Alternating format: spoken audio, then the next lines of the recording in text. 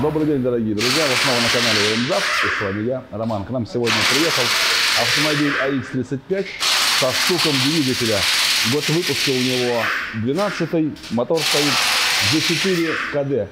Не могу при этом не упомянуть одну интересную историю. Когда автомобиль, э, когда концерн Mercedes-Benz заходил на российский рынок, они привезли с собой рекламу. А в 90-е годы, когда э, зарубежные компании входили на наш рынок, они очень часто делали следующее. То есть они брали готовый рекламный блок, просто его тупо переводили на русский язык и запускали здесь на телевидение. Так вот, в Германии был такой рекламный лозунг у фирмы Гелендваген, что все лучшее начинается на «Г». И они хотели его принести сюда, в Россию. Но там немцам объяснили, что в России не все лучшее начинается на «Г».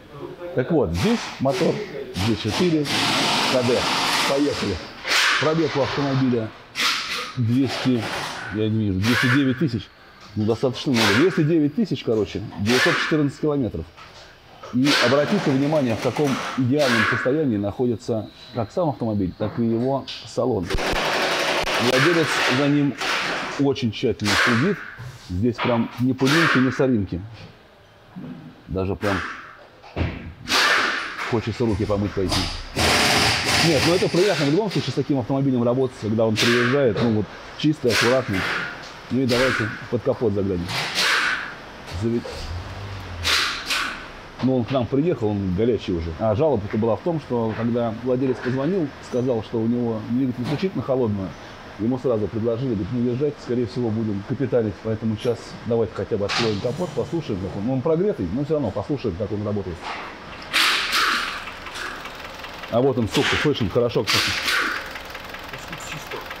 Да вообще капец. Тут даже... Я лучше вот эти перчатки сниму нафиг. Вот. Слышно, да? Вот он сейчас на горячее простукивает. И как все вымыто, реально.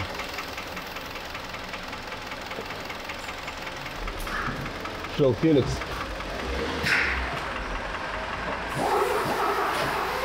Helix. К-30. Так вот, друзья, первое впечатление бывает обманчивым. Нет, то, что владелец следил за своим автомобилем, это безусловно. Но э, теперь, после того, как мы пообщались с ним, э, расскажу вам настоящую историю этого автомобиля. Значит, это первый владелец. Он на нем проехал все эти 200 тысяч, сколько там на спидометре. Он до 170, до 180 тысяч менял масло каждые 7 тысяч. А после того, как у него двигатель начал стучать, вот вы это слышали, и появился жор масла. Масло он доливал примерно 1 литр на 3-4 тысячи километров. И говорит, чем, если спокойно ездишь, то масло не доливаешь. Начинаешь газовать или там поинтенсивнее эксплуатировать машину, расход масла появлялся. И когда начались вот эти проблемы с двигателем на 180 тысяч километров, он масло перестал менять вообще. То есть сейчас он на этом масле проехал 20 тысяч, но он туда его регулярно доливал. И получалось так, что он ну, за там, 15 тысяч у него это масло там обновлялось. Ну и сейчас э, подождем, пока немного остынет, снимут двигатель, разберем, продефектуем и выясним причину этого сука и расхода масла. А еще самое главное, он жаловался на то, что не включается полный привод. Поэтому заодно посмотрим, что произошло с этим полным приводом. И еще одна немаловажная деталь. Машина владельцу очень нравится, и она настолько надежна, что он все эти, там сколько получается-то, 8, 8 лет менял только, ну, обслуживание делал обычные, там, масла, фильтра и колодки. Вот недавно заменил тормозные диски. Поэтому машиной полностью доволен и удовлетворен. Давайте снизу с вами пробежимся, да. Интересный вариант достаточно попался, потому что, да, опять же, такой большой пробег, и никто ничего ни с подвеской, ни с чем не делал. Ни редуктор какой-то темноватый запотевает. Но вроде... А, у нас же там нет ничего. Работает. Здесь сайлентблоки в достаточно хорошем состоянии. Потрескавшиеся, ну понятно, там за 8 лет должны потрескаться. Здесь тоже все живое. Ну, никто и не жалуется на стуки. Здесь тоже сайлентблоки, смотрите, живые. Кое-где там потрескалось, вон там он особенно. Вон что-то небольшой надрыв есть. Но в целом... И у этих автомобилей, вообще X35, достаточно удачная модель у Hyundai. Никаких проблем таких особых или косяков каких-то явных на по низу у них не бывает. Подвеска ходит долго. Единственное, это общеизвестные проблемы со всеми Hyundai и Kia, это моторы и обслуживание полного привода. Что мы с вами здесь и наблюдаем. Опять же, подвеска вся хорошая, рулевые, шаровые, опоры все, он даже не люфтят ни разу. Все хорошо. Ну, естественно, за 200 тысяч кончился полный привод и мотор застучал. А так, в принципе, хороший автомобиль. Стойки стабилизатора тоже, ой, живые. Никаких люфтов нету. Амортизаторы сухие все, кстати, по-моему, да? И по кузову, вот обратите внимание, да, здесь вот машина не бита, не крашена, но нигде никакой ржавчины нет. Пороги защищены накладками пластиковыми. Низ дверей точно так же защищен. Здесь тоже амортизатор сухой, да, но мы снизу там снимали подвеску. И здесь тоже, обратите внимание, да? Хоть и не защищено ничего, ну, на- накладками никакими. Ничего не пескостроится, все целое, не облезло. Даже вот здесь видно, смотрите, царапина не ржавеет. То есть по, по кузову, в принципе, крупных проблем у этих машин нету. То есть они выхаживают долго и счастливы. Единственная проблема, да, обслуживание полного привода и моторы. А так вполне себе отличные машины без недостатков. То же самое, все сухо. Пыльник целый, да, ничего с ним не случилось. Видно, что он ржавый, конечно, за все это время, но тем не менее рабочий. Точно так, жаркие крылья целые. Ничего не от пескостроено. Но опять же, большое дело имеет вот пластиковая защита порогов и низа дверей. То, что там попадают камни, они не по- не повреждают окрасочные покрытия. В этом плане корейцы молодцы. Здесь точно так же стойка сухая. Стабилизатор тоже идеальный. Все пыльнички, смотрите, целые. Да? 12 года машина. Все хорошо. Стойки стабилизатора, по-моему, вообще вечные. Диски, да, владелец сказал, что он диски новые поставил. Выработки нету. И колодки новые стоят, видите. Все обслужено, все резиночки целые. Машина отвечает взаимностью. Но, правда, есть детские болезни, которые успешно лечатся. Вот. Ну, единственное только, да, повторюсь, что владелец сказал, он немцы делал вовремя ТО первые 180 тысяч. Ну вот, результат этого мы видим. Ну что, ждем дефектовки двигателя. Сняли двигатель, вот он стоит у нас как раз на тележке, только-только Юра его опустил. Давайте с вами посмотрим. Внешне э, владелец еще и жаловался, что у него откуда-то отсюда подтекала охлаждающая жидкость. Но сейчас тут сложно сказать, откуда это не видно. И говорил еще, что не работает полный привод. Обратите внимание, да, владелец 200 тысяч практически проехал на этом полном приводе, ни разу его не обслужив. И вот эта вот окалина, которая здесь вываливается, это куски шлицевого соединения. Вот оно, лысое, как коленка. Поэтому сейчас мотор дальше разберем, продефектуем. Пойдемте угловой редуктор посмотрим. Абсолютно то же самое здесь можем наблюдать с вами. Видите, шлицов нету. И вот промежуточный вал точно так же ни разу не обслуживался. Вот что удивительно, да? Раз, когда человек любит свою машину, намывает, начищает ее, но не обслуживает, она у него все равно прошла 200 тысяч и накрылась. Вот так вот. Ладно, давайте дождемся. Дальше разберем мотор. Ну, разобрали мы двигатель. Давайте подведем кратенький итог. С головкой у нас все хорошо. Она нормальная, масляного голодания в ней не было, износа в ней тоже нету, но она будет, тем не менее, отремонтирована. Клапана будут притерты, колпачки мотосъемные будут заменены. Валы распределительные сейчас, минуточку, я вам принесу, покажу. Вал... Подробно останавливаться на них не будем. Они, в принципе, всегда нормальные, редко испытывают проблемы с масляным голоданием. Вот.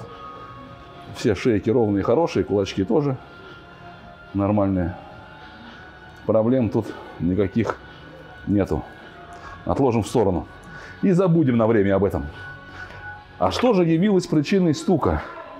А причиной стука тут явилась, как нам всем хорошо известно, это общая проблема этих двигателей. Вот они. Задиры на поршнях. Горячая сторона. Один цилиндр, второй цилиндр, еще один. Это, видимо, первый, самый хороший. Это четвертый. Попутались. Все равно будут меняться и поршни. И, естественно, обратите внимание, хоть владелец и заливал сюда хорошее масло, и менял его регулярно, да, каждые там 7 тысяч, но все равно через там на 170 тысячи у него все равно появился стук. И здесь, если посмотрите, точно такой же дефект при задирах на стенках цилиндров, кольца маслосъемные залегли. Видите? На всех цилиндрах они не работают. Если компрессионные болтаются, маслосъемные мертвые. Здесь то же самое лежит. Масложор был, конечно же, тоже из-за, ну, во-первых, кольца залегшие, во-вторых, задиры на цилиндре были достаточно большие. Давайте перейдем к блоку. Возьмем крупный измерительный инструмент, грубый, пальцометр. Первый цилиндр более-менее нормальный. Ну вот они здесь даже чувствуются пальцометром. Здесь они есть прям как шершавые. Ну и здесь, соответственно, вообще беда. Вкладыши тоже имеют износ. Но здесь стук был не из-за вкладышей, стук был из-за поршней. Но в любом случае на коренных вкладышах имеются следы износа. Не критические, но имеются. Вот они, видите? Начало положено. Это у нас корень второго подшипника, второй шейки. Первый нормальный, особенно сильно подношены корневые, коренные на четвертой шейке и на пятой. Видно, да? Но сам вал задиров не имеет. Он хороший, более твердый, чем вкладыш. А шатунные вкладыши у нас изношены и подлежат замене. Владелец не хотел их менять, но это так оставлять нельзя. Видно, да? Все вкладыши имеют износ. Если их оставить, то впоследствии это скажется на ходимости двигателя. Мы не оставляем такие вкладыши. Даже если владелец не хочет его менять, но категорически рекомендуется. Единственное, что отказался от замены масляного насоса. Но зная ресурсы этих двигателей, этих насосов, ну, ну не захотел мне владелец, ну что мы тут можем сделать? Не обяжешь. И на поршне тоже, видите, имеется большой нагар, вон даже сыпется из-под пальца. Поэтому откуда возникают задиры? Ну, понятно, что просто так этот задир здесь не образуется. А образуется он здесь из-за того, ну, причина одна – отсутствие масла и смазки между стенкой цилиндра и днищ, этим, юбкой поршня. Поэтому все зависит от качества масла. Но в любом случае, даже вот повторюсь уже, да, владелец менял каждые 7 тысяч это масло в течение 170 тысяч километров пробега. Она у него все равно задрала. Вот что ты тут хочешь, что и делай. Поэтому Владельцу будет рекомендовано к замене значит, э, все вкладыши, коренные, шатунные комплект, э, гильзовка блока, однозначно, замена поршней вместе с комплектом колец. Цепи будут меняться ему основная и масляного насоса. Ну, масляный насос владелец не захотел менять. Головка, я уже сказал, будет перебрана. И, соответственно, натяжители, успокоители. Мы с вами поступим более мудро. Мы, когда перед сборкой разложим все детали и вам покажем, что именно будет установлено новое. Ну а сейчас что, блок поведем э, в низовку. Поддон. Не сказал. Но стружки в поддоне практически нет. Ну потому что нет износа вкладыша. Она какая-то там, что-то такое там блестит, но за 200 тысяч у вас по-любому там что-то будет блестеть. Ну, не это явилось причиной стука, еще раз скажу, видите. Насос масляный, ну, даже если он сейчас нормальный, я бы все-таки рекомендовал его заменить. Но здесь владелец решает, мы тут можем только рекомендовать. Ну что, ждем, когда нам блок привезут из гильзовки. Сейчас его отправляем. Очковато чуть стало. Оно серое. Должно быть красное. Паленым воняет не тогда. Не, ну в любом случае, оно, если его не меняли сколько, 200 тысяч, ты говоришь, да? Удивительно, что вообще она сюда своим ходом приехала. И второй раз мы подтвердили то, что первое впечатление бывает обманчиво. Э, эта коробка с этого AX, пробег на нем 200 тысяч, да? И масло здесь ни разу не менялось. Но тем не менее, машина в удивительно хорошем состоянии, да, что нельзя не признать. Поэтому видите, как все изменяется, когда вы просто помоете двигатель. Но масло, конечно, вообще капец. Привезли нам из а, нашего цеха вал с восстановленным с восстановленными шлицами. Видите, новая шлицевая часть устанавливается на вал и обваривается вот места сварки. Сейчас она будет установлена в угловой редуктор, собрана и дальше поставлена на автомобиль. Ну что, осталось дождаться окончания ремонта. Привезли нам блок из гильзовки. Вот он стоит. G4 КД. Загильзованный, красивый, помытый, готов к сборке. На этом двигателе мы будем менять следующие детали. Вкладыши, шатунные, коренные комплект. Соответственно, мы на новые поршни ставим, поскольку блок загильзован, то и, соответственно, новые поршневые кольца ставятся в комплект. Шатуны остаются старые. Масло мы обязательно зальем новое. И масло мы перед зимой заливаем 5,20. Вот такое вот. Также будут установлены новые свечи зажигания, цепь привода распредвалов, натяжитель, все успокоители новые, комплект прокладок у нас будет установлен на автомобиль новый. Но это обязательно, это как вот одноразовые детали или детали разового монтажа. Болты, соответственно, крепления головки ставятся одноразовые, потому что тянутся по пределу текучести. Блок роликов натяжителя, потому что вот старый шумит. Сейчас я покажу. Сейчас, если слышно. Где у нас микрофон? Вот так вот. Вот так вот шумит он. Вот так вот. Вот так вот шумит. Поэтому будем менять. Масляный насос. А, владелец решил оставить новый, поскольку тут ремонт и так достаточно дорогущий, потому что еще мы отремонтировали коробку передач.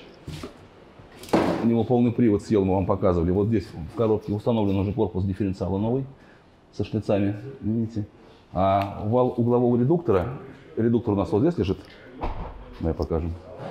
Вот он, он разобранный, вал сейчас увезли на восстановление. Когда привезут, покажем уже восстановленный. Ну и, соответственно, поскольку на вкладышах у задиров никаких не было, они были практически как новые, вот, то масляный насос оставляем старый. Коленчатый вал также оставляем новый, меняем только подшипники. Головку головка будет отремонтирована, точно так же будут протерты клапана, заменены маслосъемные колпачки, помыта дроссельная заслонка. Ну а теперь нам осталось дождаться только первого запуска. Давайте дождемся. Ну и уж до полноты картины покажем вам то, что валы распределительные здесь хорошие, без износа. Поэтому замены не требует. И, как правило, ходят они долго и счастливо. Система смазки здесь устроена таким образом, что головка остается целой даже при неисправном масляном насосе. Ну и в данном случае у нас насос масляный был исправен, поэтому он остается, как я уже говорил. Соответственно, да, головка будет отремонтирована, клапана протерты, колпачки маслосъемные заменены. Валы останутся старыми. Все, ждем сборки. Так, мотор собран и установлен. Давайте его сейчас заведем и послушаем. О, как он работает. А работает он отлично. Давайте же подведем итог. Итак, ремонт двигателя на этом автомобиле обошелся в 56 тысяч рублей. Сюда вошло снятие, установка, разборка, сборка и гильзовка двигателя. Плюс полторы тысячи установка пламя-гасителя. Но учитывайте, что выхлопная система была уже снята. Ну и как вы можете слышать, э, стуков посторонних никаких нет. Цоканье, это форсунки цокают, это нормально. Ну и так, продолжим разговор по стоимости. 15,5 э, тысяч рублей обошелся ремонт э, полного привода. Итого по работам обошелся весь ремонт в 73 тысячи рублей. По запчастям 117 тысяч рублей. Ну а вы пишите комментарии, ставьте лайки и не забывайте подписываться на наш канал.